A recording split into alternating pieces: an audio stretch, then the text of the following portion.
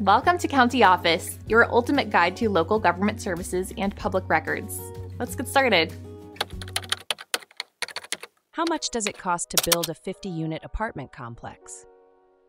The cost of building a 50 unit apartment complex varies significantly based on several factors. Location plays a crucial role in determining construction costs. Urban areas typically have higher expenses due to land prices, labor rates, and materials. Zoning laws and regulations can affect building costs. Developers must comply with local codes, which may require additional expenses for permits and inspections. The type of construction also impacts costs.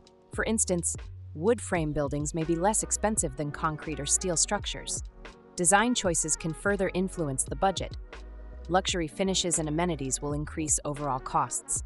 Conversely, opting for basic finishes can help keep expenses down. Financing is another critical factor.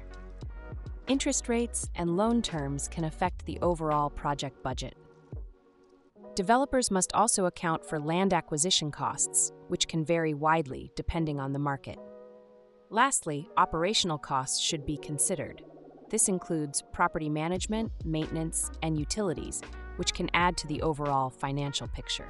Understanding these elements is essential for accurately estimating the cost of building a 50 unit apartment complex.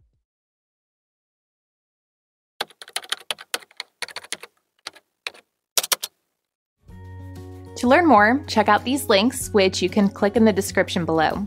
And feel free to comment your questions. We're here to help.